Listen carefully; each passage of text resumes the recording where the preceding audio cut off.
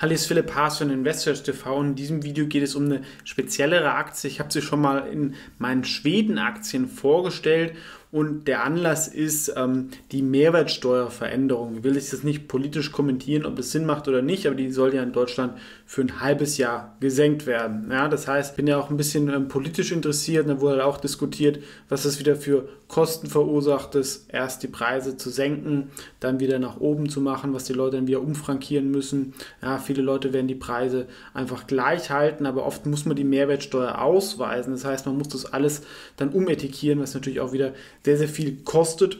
Und das wäre jetzt so die Idee dahinter, dass das zum Anlass genommen wird, auf elektronische Preisschilder umzustellen, weil das damit natürlich viel, viel einfacher wäre und auch der Einzelhandel muss danach natürlich reagieren. Er muss die Herausforderungen der Digitalisierung annehmen. Das heißt, dass man zum Beispiel Omnichannel macht, dass Leute äh, online bestellen und mit, ähm, das dann im Laden direkt abholen können oder zum Beispiel auch, dass man schnell auf Preisveränderungen aus dem Internet reagieren kann. Wenn Amazon plötzlich minus 20 Prozent am ähm, Preis senkt, dass man das dann matchen kann, wenn man sagen will, man hat immer den besten Preis. Und ein Unternehmen, das das anbietet, wäre Preiser AB. Ich habe mir zwei Firmen angeschaut. Es gibt auch noch die SES Imagotag, die ist größer ähm, ist vielleicht auch noch vom Produkt her noch umfassender. Ich habe mich allerdings für die Preis AB entschieden aus zwei Gründen. Das eine, dass die ähm, SAS Imagotag ähm, hat eine Mutter, den gehört 70, 80 Prozent und so Sachen sind immer schwierig, weil dann das Tochterunternehmen eigentlich nicht so die Motivation hat, hohe Gewinne auszuweisen weil die Mutter eher, sage ich mal, ähm, zukaufen möchte ähm, am Aktienmarkt oder dass halt die Gewinne halt irgendwo in, nach Hongkong fließen, wo weniger Steuern anfallen etc. und die Mutter das auch eher ausweisen kann. Und das Zweite ist, ähm, Preis AB setzt auf eine eigene Technologie. Also es gibt da relativ viel Wettbewerb, aber meistens geht es mit ähm, Radiofrequenzen, mit WLAN. Und die setzen auf eine optische Kommunikation und sind dadurch auch eigentlich Qualitätsführer. Und ähm, ist zwar ein bisschen teurer am Anfang, aber es hält einfach auch länger. Die Batterie wird weniger genutzt. Ähm, und zum Beispiel im Kaufhaus, ihr kennt es vielleicht selber inzwischen, also wenn mal irgendwie Besuch kommt oder jemand irgendwie ein Handy und Laptop mitbringt und WL alle loggen sich ins WLAN ein, irgendwann ist das überlastet. Und wenn halt jedes Preisschild irgendwie so eine eigene WLAN-Kommunikation hat, dann geschehen da halt auch mal schnell Fehler. Deswegen finde ich Preis AB vom Produkt her auch ein bisschen besser und sind auch noch fokussierter dazu. Dazu, ich habe es schon angesprochen, Omnichannel, also sie haben dann auch so Lösungen, der Picker hat dann so ein ähm, Gerät und er läuft durch das, den Laden durch und wenn er was greifen soll, ähm, dann ähm, sieht das Preisschild, dass er in der Nähe ist und fängt an zu blinken. Also da kann man auch Effizienzen holen, dass die das halt schneller aus dem Laden holen oder wenn ihr vielleicht irgendwie ähm, Produkt im Laden nicht findet. Früher fragt man da irgendwie die ähm, Servicekraft, die weiß dann oft auch nicht oder man findet keinen. Da gibt es dann so Terminals und mit diesen intelligenten Preisschildern weiß man natürlich immer sofort, wo jedes Produkt zu finden ist. Also da sind schon ein bisschen Innovationen äh, möglich und ich glaube, vielleicht noch das dritte Argument, Amazon hat ja wirklich die größte Innovation bei diesem Amazon Go-System. Das wird A natürlich vielleicht auch ein Wettbewerber, aber B wird es auch eine Innovation im Einzelhandel nochmal verschärfen, weil dann alle was tun müssen und richtig Druck nochmal auch auf ihrem Home-Turf bekommen. Vom Geschäftsmodell muss man sagen, Preis AB fertigt diese Sachen nicht selber. Ja, also das sind diese ganzen Bildschirme, das kommt alles aus Asien. Deswegen ist die Grossmarge auch nicht so hoch. Und die Umsätze sind halt oft eher projektbezogen. Ja, wenn dann sagt, eine große Einzelhandelskette sagt, wir rollen das jetzt aus, dann gibt es halt ein, zwei Jahre viel Umsatz und dann wieder weniger. Allerdings ähm, kommen wir auch noch dazu, Wachstum ist da und natürlich irgendwann gibt es dann den Replacement-Zyklus. Die halten lange, aber halt auch nicht ewig. Ja gerade auch mit den Batterien. Ja. Und ähm, das Problem ein bisschen, der Markt ist halt relativ klein, also wird uns, insgesamt auf eine Milliarde weltweit geschätzt, soll dabei mit 10% wachsen, davon vor allem in Asien. Ich glaube jetzt durch die aktuelle Situation, also das ist von irgendeiner ähm, Studie, ist das Wachstum deutlich größer, aber das ist einfach nur meine Meinung. Das wäre zum Beispiel auch so ein Teil des Investment Cases, dass die Markterwartung eigentlich nur von 2, 3, 4 Prozent Wachstum ausgeht in Europa. Ich glaube, das wird jetzt deutlich mehr sein und es könnte dann auch zu einer Neubewertung ähm, sorgen. Ja, und ich habe es auch noch angesprochen, halt diese ganzen Sachen, alle müssen Innovationen bringen Es gibt aber, wie gesagt, halt mit SAS Imagotag auch einen starken Wettbewerber, der auch gut verzahnt ist und sicherlich auch eine Alternative zu dieser Aktie ist. Also mir geht es eher um dieses Thema abzudecken und nicht jetzt nicht speziell um diese Preis-IB-Aktie aus Schweden.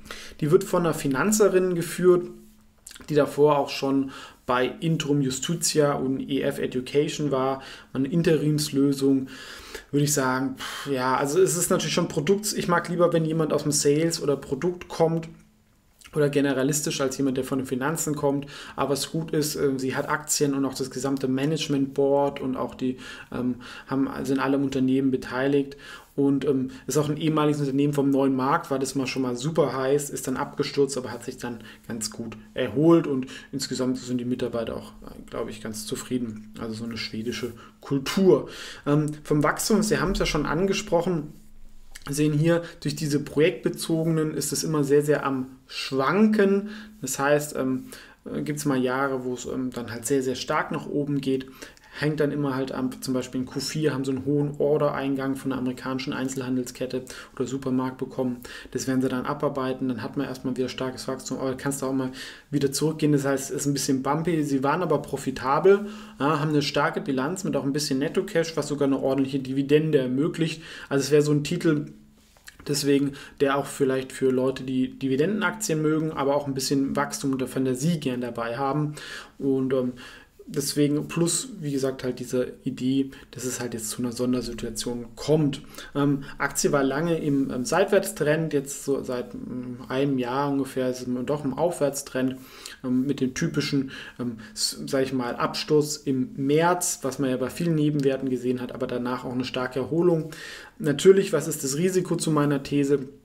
Sie sagt, der Einzelhandel hat gar kein Geld mehr und ähm, verschiebt solche Projekte. Ähm, ich gehe jetzt eher von dem anderen aus, dass halt die starken Ketten ähm, etwas machen müssen. Ja, und der Markt ist groß und sie haben halt auch gesehen, gerade wie gesagt, vielleicht gibt es ja nicht nur in Deutschland solche Steuerveränderungen, sondern wir sehen das auch noch in anderen Ländern. Und das kann natürlich dann schon der Auslöser sein, ja, bevor ich dann auch, plus ich habe irgendwie Mindestlohn in Deutschland und das sind ja oft auch, sag ich mal, Tätigkeiten so umfrankieren, was ja relativ repetitiv, stupide ist. Da kann es dann oft dann sinnvoller sein, einfach einmal das auszurollen, anstatt zweimal ähm, das komplette ähm, Sortiment irgendwie neue Preise zu machen. Insgesamt gibt es auch ein strukturelles Wachstum, was ich höher einschätze als die Markterwartung.